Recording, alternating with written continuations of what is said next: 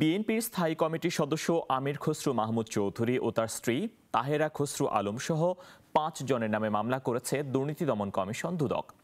জ্ঞাত আয় বহির্ভূত সম্পদ অর্জনের অভিযোগে এ মামলা করা হয়েছে।